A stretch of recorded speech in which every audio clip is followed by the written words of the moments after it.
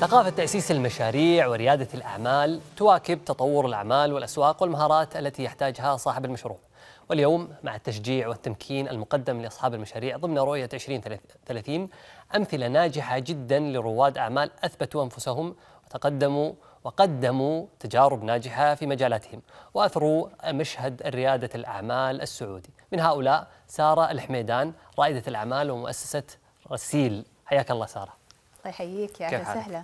الله يسلمك. شاكرة ومقدرة لكم هذه الاستضافة. رسيل لحلول ال- الإهداء صحيح؟ صحيح. طيب أنا في البداية ودي أتكلم عن فكرة ريادة الأعمال هذه ومقارنتها دائما بالوظيفة. كيف تشوفها سارة؟ طبعا آه، لكل وحدة في لها مزايا ولها سلبياتها يعني. في الوظيفة لحد ما عندك استقرار مادي عارف نهاية الشهر وش بيجيك. مهم. أو آه، لحد ما التحدي آه، أو التحديات اللي تجي بوجهك آه، مش لحالك يعني آه، راح تتعامل معها. عندك فريق عندك مدراء. لحد ما بيوجهونك بيقولوا لك هذا صح هذا غلط في طريقة أفضل لعمل الأشياء. فلا إيجابيات. وبعدين عندك سلبيات إنك إنك مش دائما تختار الأشياء اللي أنت تسويها. مش دائما تختار الأعمال المؤثرة عليك وعلى الناس اللي حولك. فنجي لل business إنه دائما التأثير حقه أكبر سواء كان في حياتك في حياة الموظفين اللي معك أو حياة المجتمع eventually يعني. جميل. طيب وش أبرز الأخطاء الشائعة عن مجال ال business اللي يقع فيها خلينا نقول المبتدئين؟ يمكن آه، أهم شيء ممكن آه، أسمع دايم من الناس اللي يتابعوني ال- الناس اللي يأخذون معي استشارات إني أنا أبغى أفتح business لما أقول له إيش السبب حقك؟ ممكن يقول أنا أبغى أملك وقتي، أبغى أصير حر نفسي، أبغى أصير مدير نفسي. نجهل أحيانا إنه أحيانا لما الواحد يفتح business الخاص بالعكس أنت يعني مطلوب منك أضعاف المجهود اللي تقدمه في الوظيفة. الساعة وتكون yes بالذات في البداية يعني ممكن بعدين تملك حرية وقتك أكيد آه لما خلاص ال business لحد ما له آه تأسيس ممتاز ولك عندك فريق تعتمد عليهم. لكن إلى ذلك الوقت أنت قاعد تكرف آه كرف ضعف ال- الوظيفة يعني. بدون أن ترى يعني نتائج يمكن حتى في البدايات. بدون أن ترى نتائج مباشرة سواء ماديا أو تاثيرا. تاخذ وقت تبني شوية طوبه طوبه طيب. التأثير هذا. جميل. البيئة التنافسية اللي نشوفها اليوم في مجال ريادة الأعمال.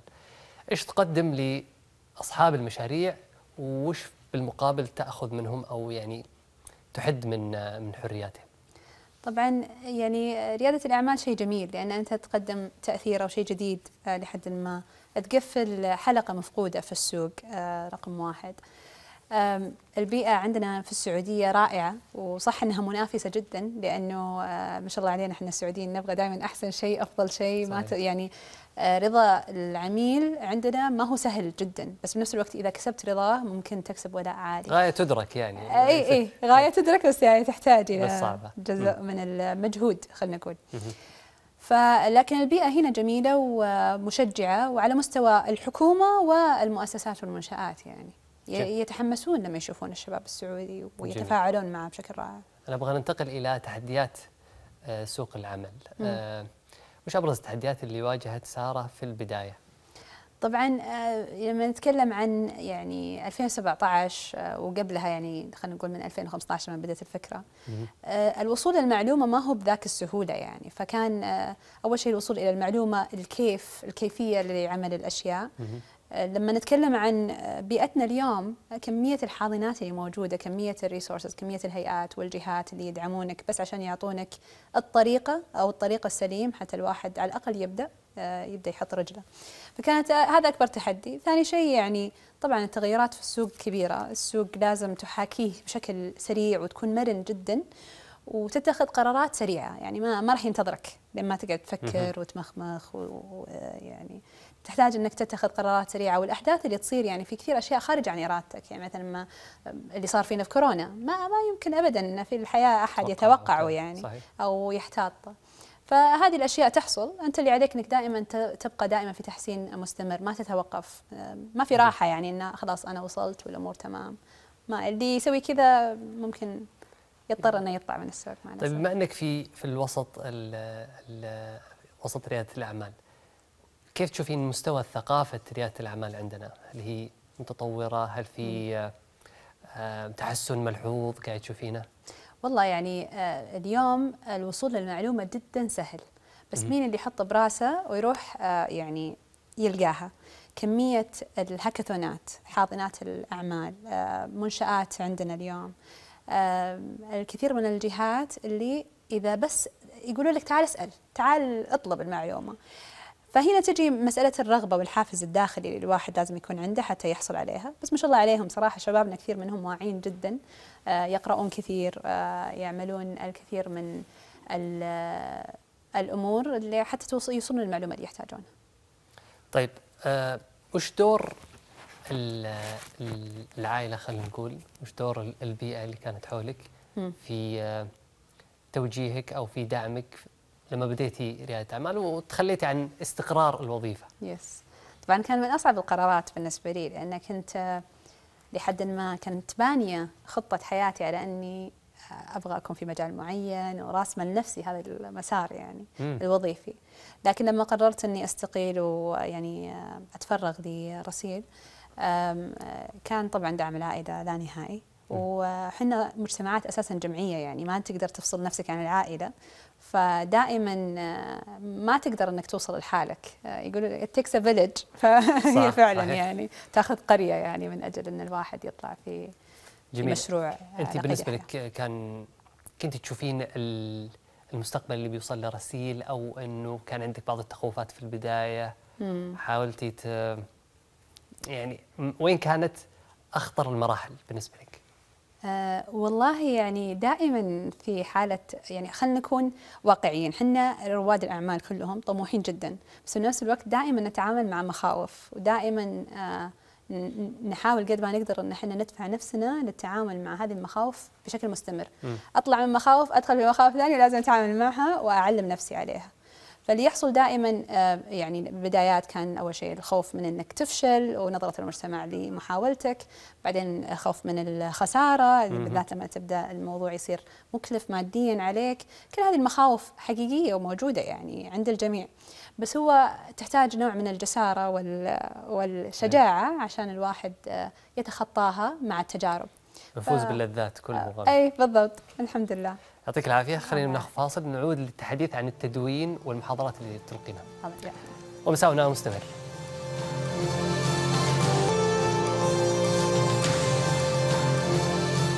حياكم من جديد مكملين حوارنا مع ضيفتي الأستاذة سارة الحميدان. أستاذة سارة المحتوى العربي والسعودي آه، عن عن ريادة الأعمال في وسائل التواصل وأيضا في المحاضرات. آه، هل تشوفينه نشط؟ كيف تشوفينه؟ والله ما شاء الله في ازدياد. يمكن بالذات آه، قبل كنا نسمع كثير من مدربين وأكاديميين فضلاء ولكن مؤخرا بدأنا نشوف كذلك رواد الأعمال نفسهم بدأوا يتكلمون من من نظرتهم هم. لأنه لحد ما إحنا في مراحل البدايات قبل سنوات نتكلم عن قبل ثمان تسع سنين ما كنا نجد هذه هذا المحتوى بكثرة. فيمكن من هذا من هذا الشعور أو اتليست بالنسبة لي آه، صار عندي حافز إن أبغى أتكلم عن هذا المحتوى بشكل كبير لعله يفيد ناس آه، في بدايات معينة صحيح وغالبا أصحاب المؤسسات هم صح أصحاب التجارب ومروا بكثير. أنا أسألك لأنه في محاضرة ألقيتيها وكان فيه مجتزئات منها آه لاقت رواج كبير في وسائل التواصل ويعني آه جعلت من نموذج سارة ونموذج رسيل آه مثال يحتذى به. ممكن نستعرض آه كليب من الكليبات. خلونا نشوفه ونرجع نعلق عليه. الخبرة تعطيك هذا الشيء. التجارب تعطيك هذا الشيء. ما في يعني صدقوني ما في اختصار لهذا الشيء. ما في اختصار لمساله التجارب والوقت والعمر اللي يعطيك إياها مع الوقت. لكن اللي تقدر أنت تسويه إنك أنت تعرض نفسك على قدر عالي من التجارب. إنك ما تكون متحفظ وفي قوقعه خاصة فيها. حتى لو إن شاء الله تجارب على مستواك الشخصي إنك تطلع تسوي أشياء جديدة مع أصحابك إنك تروح أماكن جديدة. يصير روتين حلو بس لازم تكسره بين فتره والثانيه عشان تولد ال discomfort هذا. كل ما ارتحت مع شعور عدم الراحة ورحت الابعد شوي الابعد شوي you expand فتقدر إنك تتحمل أشياء أكثر. ودي أسأل عن أول شيء أهمية آه، التدوين ومشاركة قصص النجاح. ثاني شيء إيش هي المهارات اللي يحتاجها رائد الأعمال في السوق اليوم؟ هل تختلف عن الماضي؟ جميل. آه خلنا أول شيء يعني أتكلم عن النقطة الأولى آه بالنسبة لي مشاركة التجارب والقصص مم. الشخصية تعطي نظرة واقعية لحد ما آه بشكل كبير للواقع اللي يتطلب ريادة الأعمال. يعني ما نجمل الحكاية مرة كثير. ولا نبسطها وبنفس الوقت ما نصعبها. يعني أنا إنسان زيي زيك آه، عملت شيء بطريقة معينة ممكن أنت تعمل شيء أحسن مني بعد.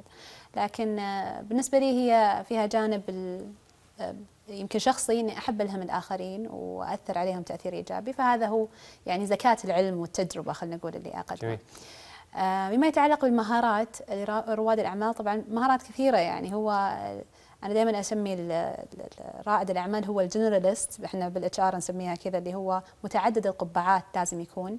فبالتالي لازم يكتسب كثير مهارات. لكن رقم واحد أتوقع سابقا واليوم يمكن أكثر بكثير اللي هو سرعة التكيف. لازم الواحد بسرعة يتكيف مع المعطيات حقت سوق السوق اليوم يتحرك بسرعة مهولة.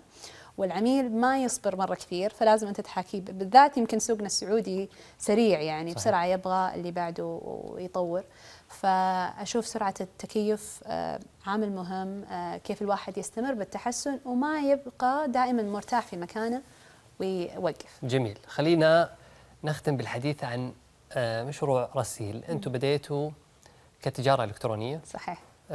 غالبا توصلون أغراض. كيف كانت البداية؟ وكيف آه، تأقلمتوا مع مع التطورات اللي في سوق العمل؟ جميل. طبعا إحنا فعلا بدينا في تجارة إلكترونية في سنة كانت آه، توها بادية التجاره الالكترونيه تزدهر في, السعودية كنا من يعني من المتاجر القليلة اللي بدأنا في ذيك السنة. مهم. وبعدها طبعا ما شاء الله هذيك السنة كثير متاجر بدأوا.